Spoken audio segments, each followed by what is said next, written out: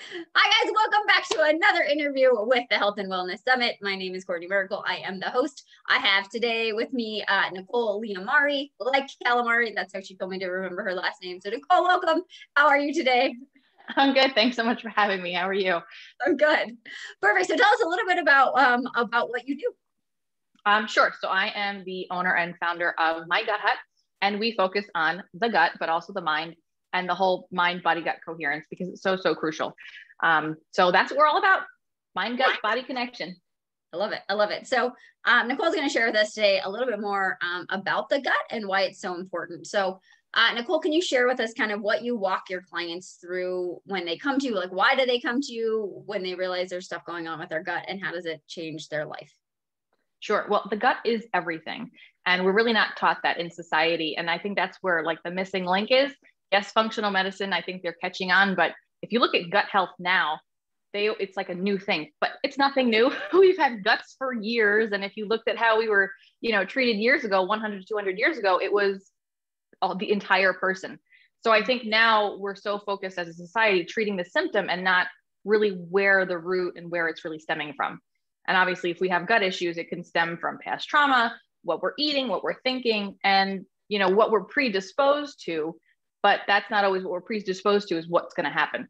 So gut health is just crucial because it runs our entire body from moods to thoughts really um, to weight management everything. So we have to really address that first first and foremost first and foremost easy for me to say.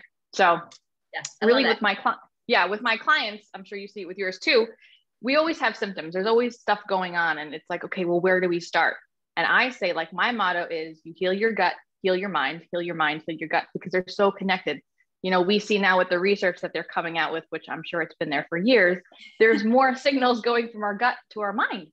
So it's almost, I always say, what came first? You know, the chicken or the egg, the mind or the gut. But because our gut really starts forming in the womb, it's not sterile like they thought it was, you know, and it, depending on how a child is born, vaginal or C section, that really dictates a lot of what your life is going to be like. Plus, what were you being fed as a kid? What was your environment as a child? My screen just went dark. Can you see me? I can. That's really weird. Okay. Um, so what you're eating, and then antibiotics. That's a huge, it wipes out the good and the bad bacteria, which nobody really ever talks about. I know when I was a kid, I was on a ton of antibiotics, and the doctor's like, oh, just have yogurt. My mom always said, just have yogurt when you're having antibiotics. Well, why? Right? We have to replenish that good bacteria that we're getting rid of. So when you take all these different factors, the food, environment, what medicines, and how our upbringing was, it really creates our gut. Our gut is, you know, it's a, like an ecosystem, right? It's a rainforest, all these different bacterias, and well, there's good and bad, and we have to have the balance between the good and bad to have a healthy life. So, yeah, I love that. So I think what's so interesting is there is more and more of like normal, whatever, general media, right, about gut mm-hmm. health but I think what what I loved about what you said is that you're like it's not just what you eat, right? There's all these other factors. So can you explain to to the listeners how does like your upbringing and like how, how's your mood affected by your gut? Sure. Well, I think we all have every house. There's always some type of dynamic. So when we grow up in a stressful household, whether your parents are fighting, there's situations, whatever really is considered stress for that person or that child, that stress directly affects the gut. And it basically breaks down our gut. We have to remember that our gut is really only one cell wall thick. Right. So when you take all these factors into, you know, what you're eating and what you're surrounded by, plus the toxins, you know, not only what you're eating, but what air fresheners or what soap you're using. It's just it's and when you're when you're so young, your body's just soaking up all that stuff. You know, our skin's our biggest organ. It's sucking in everything. But when it comes to, you know, situations with family, I always say, you know, it doesn't matter what the situation was. Your parents divorced like mine did. That was a huge issue for me. You know, my parents went to get, you know, remarried.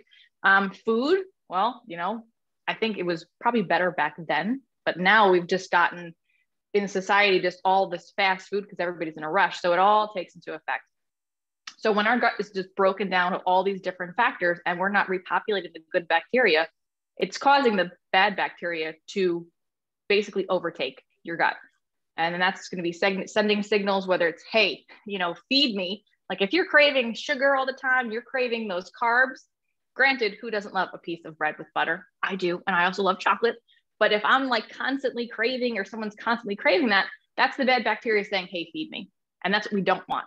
And then it's almost like a, the vicious cycle. Okay, well, you know, maybe you're eating because you're stressed out and you're not eating the right foods. And then you're craving that food and then you're gaining weight. And all of these things, it's like, you gotta, you have to stop it. You really have to stop it in the gut. Yeah, I love that. So when you work with your clients, how do you go about helping them create a strategy to start to heal their gut um, and then and and then deal with the other aspects of their life that are being that are being affected by their past trauma or, or by their gut and or by their gut yeah so i um, i don't believe in omitting entire food groups for forever because it's not sustainable and our body needs all the foods. So i omit really for 30 to 60 days certain foods excuse me um, to heal the gut. I do have a tool. It's a gut product. It's a food it's actual food um, that i implement it's just one modality. And then we address it by food, by really what and how we're going to eat, what issues are they dealing with. Um, and we mostly omit meat because that can be a gut disruptor. It takes a long time for the body to digest it. Um, we omit beans and stuff like that um, because that can cause a lot of issues. And again, our gut is one cell wall thick. And I always like to say, if you take a piece of sandpaper in your hand and you rub it once, you're going to be okay. You rub it over and over and over again, you're you're going to have some an issue. So when you take out the disrupting foods temporarily it allows your gut to heal quicker. And then once that 30 to 60 days is over, because our, our gut is very resilient. You know, you give it what the real nutrients that it needs and the food, it's going to heal. Then you reintroduce your foods and you live your life. And I say 80 20 rule. You know, you want to go have that burger and a beer. I'm sorry, I want you to go have that because we have to enjoy our life. And if that's what you want, you should have that. Should not have to omit for, for forever. That's not that's just not what I'm oh. into. Anyway, so yeah. we focus on that first, right? Because that's also going to repopulate the good bacteria that we need. And because the signals are so much more from our gut to our brain, that starts to change their entire life, really. And then, so we, that's the food. Mindset is crucial.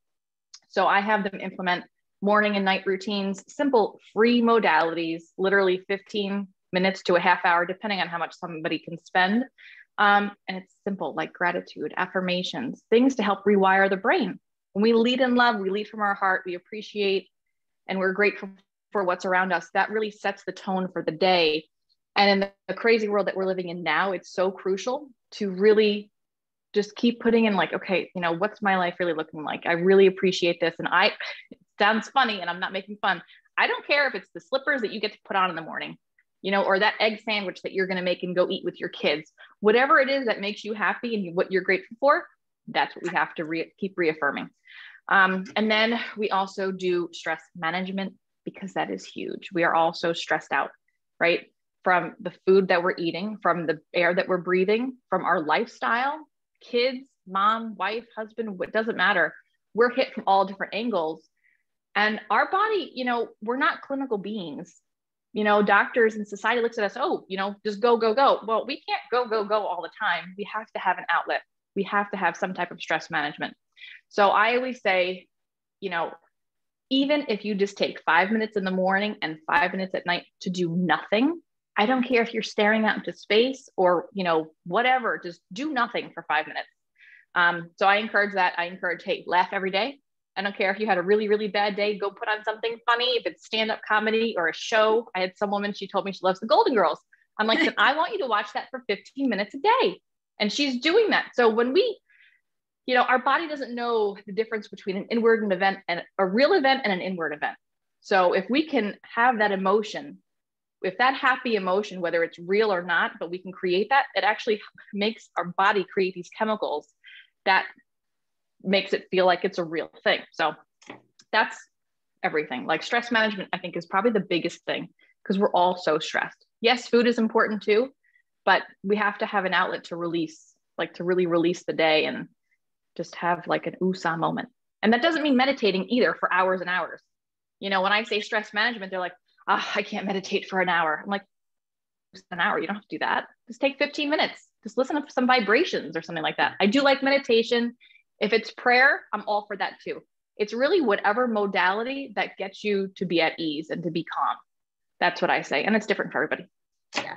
Well, and I think it's so important for people to slow down. I mean, I, you know, you don't know much of my backstory, but, you know, I had an eating disorder and I then had disordered eating forever and caused a whole bunch of gut issues. Like there's whole, there's whole story there, but that's here nor there. But for me, what I realized was that by controlling my food, I was trying to control my life. Right. And I remember people saying, like, oh, eating disorders about control. And I was like, well, that's not true because I'm fully out of control. But when I started to realize it was my sense of certainty, I was like, okay, well, how do I recreate that? And for me, it was a morning routine. It was taking that mm-hmm. time and slowing down. And the first day I tried to meditate, which was like a guided meditation, just just laying there listening to something and not like getting up and going.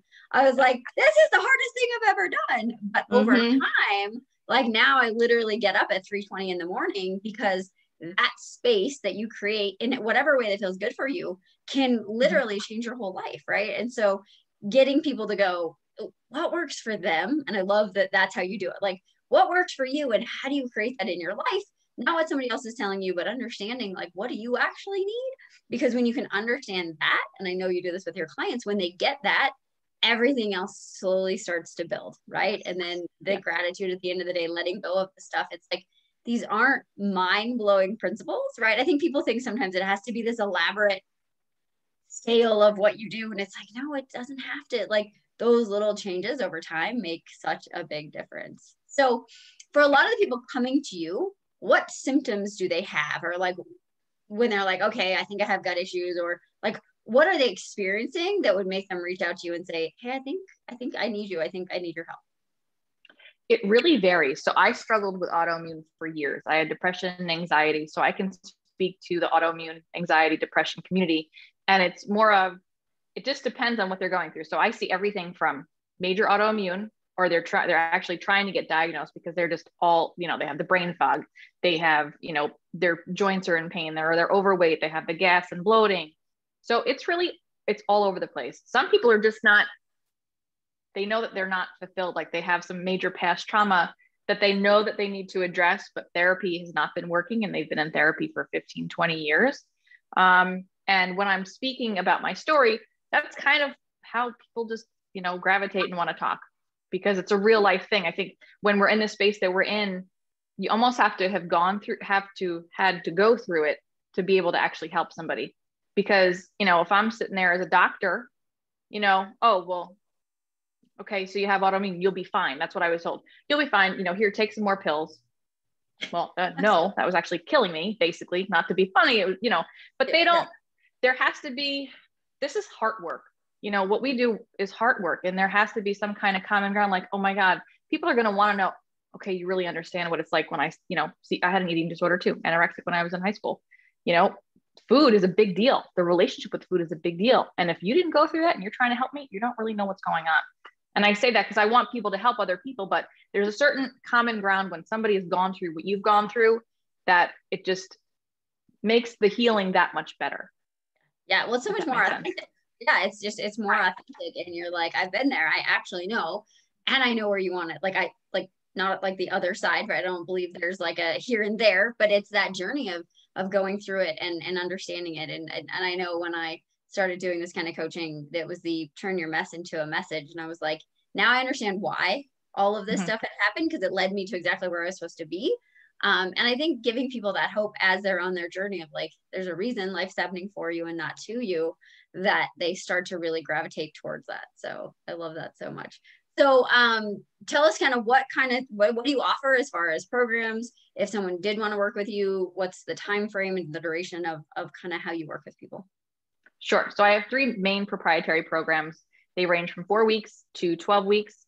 Um, the first one is a reset that's strictly dealing with the gut microbiome. So I put, you know, stuff together for you. I do have a tool. It's a food product. Um, that, that's four weeks. Then the second one is the regroup refocus and that is to deal with mindset and the gut. So I'm going to give you all the modalities that we're going to implement in those six weeks, um, along with addressing the gut. And then the larger program that's six, that's 12 weeks, sorry. Um, and that is called the Renew program because really everybody said that they feel brand new when they come out of the program. And that is everything from mindset to stress management, basically the first two, and then plus the end, the, the last one is dealing with chakra work, chakra education, and past trauma. Um, so it's really soup to nuts, it's everything. And I deal strictly with the free modalities because there's so much that we can do. And then one one food gut harmonizing product. That's it. I love it. I love it. And I think for those of you listening, if you're like, wow, I maybe do have gut stuff. Um, I know for the clients we work with, sometimes people are like, it's gonna take so long, right? And it's like, if you can change a lot of stuff and like you can heal your gut in 30 to 60 days, like over the span of your lifetime 30 60 days is such a small amount of time and the changes that you will start to feel are so incredible. So um, if you guys are, have any questions about your gut health about mood about how it all relates um, reach out to nicole. She's amazing. Uh, nicole thank you for sharing all of your amazing knowledge with us. And um, where can people reach you? I forgot to ask you that question. Where, where can they find you? That's okay. Thank you for having me. Um, you can reach me at well my website www.myguthut.com. Um, or I'm also on Instagram, my gut hut, or you can look up my name, Nicole Liammari. So you can Perfect. find me. I'm basically everywhere. I love it. I love it. And I love the name actually. The gut hut, I think is super easy to remember. So um, I appreciate you being here. Um, viewers, we'll see you back here tomorrow for yet another amazing interview. And Nicole, we'll talk to you soon. All right. Thank you. Bye. Thank you.